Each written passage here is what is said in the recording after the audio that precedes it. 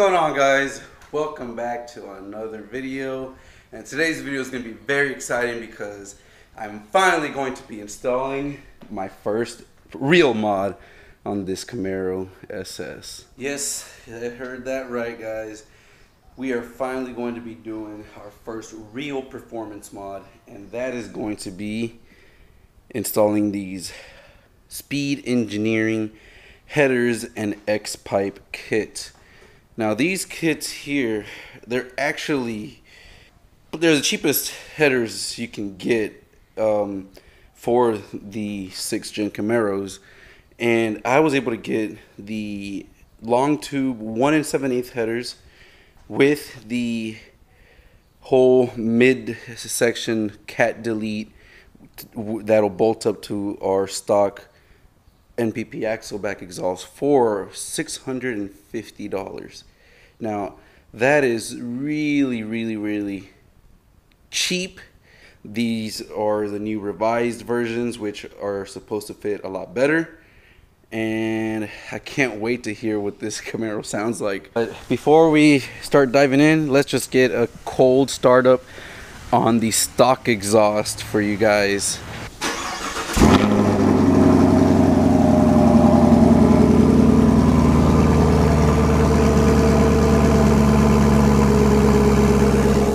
So that's pretty loud.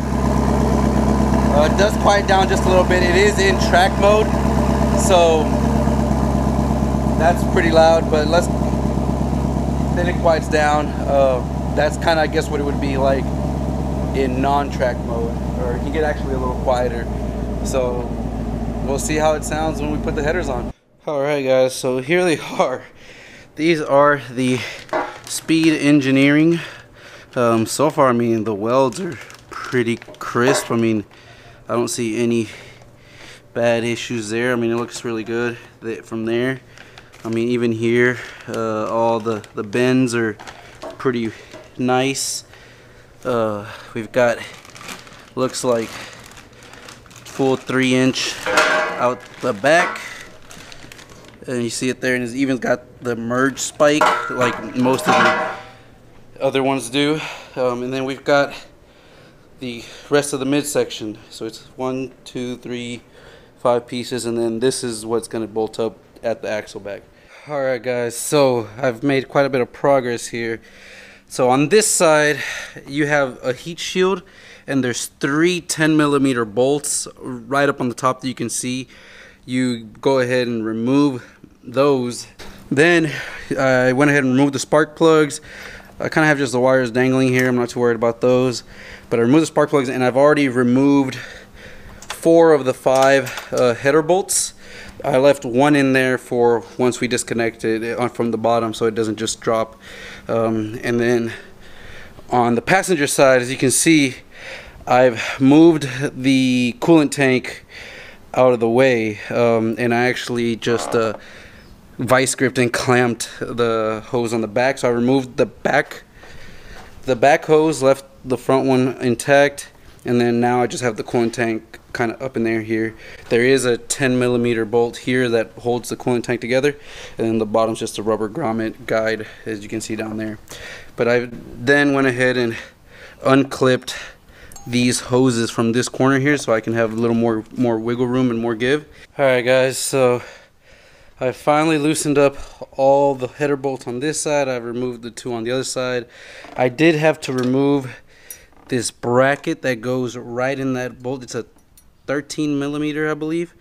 Um, and this one basically just kind of holds these uh, tree clips in. I've removed them all off. Took that off to be able to get to the bolt that's right under that one. So you have to take this little bracket off. I also removed the oil dipstick tube. I haven't actually pulled it out completely because it's kind of stuck in there. So I'm going to wait till I start moving the headers to actually really pull this thing out because it definitely won't come out that way. Alright guys, it I don't even know what time it is, um, but we've been at it for a little while and I've got both of my headers, stock headers out um, the passenger side, which is this one, I ended up bringing up and out from the top. Um, I removed this catalytic converter from here once it was loose and brought it out from the top. Mm, that was the easiest way that I could see happening. And the driver side actually came out through the bottom after you remove the steering linkage uh, bolts. So you can see here the steering shaft is actually removed and loosened out of the way. And I've gone ahead and we've already brought up the long tube headers on the passenger side. So for the passenger side you are going to want to loosen up the starter completely. You don't you don't have to remove it. Uh, I what I did was remove the heat shield on the starter and that actually allowed me to loosen up the starter and have space to bring up the long tube headers. So passenger side, which was one I thought was going to be a lot harder, actually was fairly easy to do. I'm going to go ahead and actually um, remove this midsection. I'm going to go ahead and cut the pipe at the back uh, using my exhaust and tailpipe cutter. This thing fits and adjusts to whatever you have to do. And we're just gonna go ahead and cut. Oh my God. Whew. AFM valve actuator motors, which I'm gonna remove. And here is where I cut, guys. So I actually ended up cutting after this flattening here. Um, the, that pipe wrench worked wonderfully. Uh, made it super easy um, and now I've already gone ahead and done everything. Uh, didn't couldn't do re record and all that at the same time but here is the finished product. So as you can see here guys it comes with the reducer. Obviously the factory pipe is not a three inch like this whole midsection is um, but it comes with this reducer and I ended you can actually see where the reducer is so you would only have to cut probably somewhere around this back end or yeah you could cut here in the across the middle of this brace here. Um, and this can slip all the way into the backside to allow you to fit this piece into the X pipe. Makes it very easy um, and I had no real big issues with that. Clamped everything down and you can see down there we've got the X pipe. And that is a really nice looking system. I'm very impressed with the quality from Speed Engineering. Uh, everything fit perfect and I have had zero issues. For $650, you really can't beat this full system, guys. I mean, it was just very, very easy. Uh, everything bolted up perfectly fine. Everything is supported and I did use both O2 extensions. I don't believe you needed both of them, but I did use both of them. I bought the two O2 extensions, so the O2s are in place. And now it's just a matter of putting everything back up together, the spark plugs, the coolant reservoir tank, and we should be done. Alright guys, everything is back together. Got the coolant tank back in.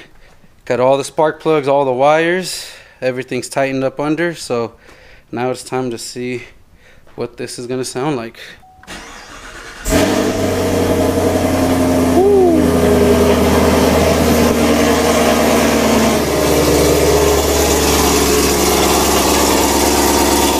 That is loud. And this is tour mode. This is supposed to be the quiet mode. So it looks like it warms right back down. So, wow. That is insane, guys. this is track mode or sport mode and this is much louder. Whoa! That I can't. That is insane. So loud is definitely loud. Holy shit. Wow. That is insane. Whew. You, if you have a Camaro, you need to get headers on it because it sounds ridiculous. And even in tour mode, now it sounds like a proper sports car in tour mode. But man, when you go into track, holy shit, look at that. You definitely hear it much, much. you guys need to get headers. Well guys, there you have it. The headers are installed. Can't believe how amazing it sounds, how great it sounds. Speed engineering kit for $650 including the extensions. You can't beat that price guys. The fitment was perfect. I mean there wasn't any type of issues trying to adjust or do any of that. I mean, it really was top-notch fitment on this thing, and I just cannot express how good of a fitment these speed, these speed engineering uh, headers are. Definitely recommend them. Um, there is no need for you to go buying some two, three thousand dollar header and midsection kit when you can get this for a quarter of the price. Now, will they last? That will be determined. I mean, I'll, I'll, definitely give a review, but when it comes to their fitment, the quality of the welds, everything looked great. There was nothing that I thought was like, oh man, this was definitely cheapened out. Everything was nice and clean. All the burrs inside the main primaries were clean. It had the merge spike. I mean, everything is there um, that you would want in a header. Alright guys, well that's it for today's video. I hope you guys enjoyed. It. I'm sorry I didn't get to film as much. I mean, I did spend about seven hours uh, with this. I started about nine and it's already about four in the afternoon. Um, but it's not hard, it's time consuming. So having a lift definitely works. The quick jacks on point work very easily. Lifted the car up as high as I needed to go to be able to put the headers from the bottom. Uh, remo removing the older headers is probably the one of the hardest things to do. And actually putting the oil dipstick tube back in, that's even harder. So definitely recommend somebody being under the car and the other person trying to put the oil dipstick tube through the top to guide it because it is very difficult to try to do it on your own. So more than likely headers two person job but you can definitely do it. I can now see why some shops charge you know five to eight hundred dollars to get headers installed because it is time consuming. It does take a lot of time and work and you need to have the right tools. But all in all i mean this thing is ridiculous i hope you guys enjoyed this video i hope you guys enjoyed the sound of that car if you did hit that thumbs up subscribe if you haven't because this is going back to the dyno as soon as we we tune it and it'll also be going back to the track to see if we can do a better time than our 12.2. See you guys in the next video.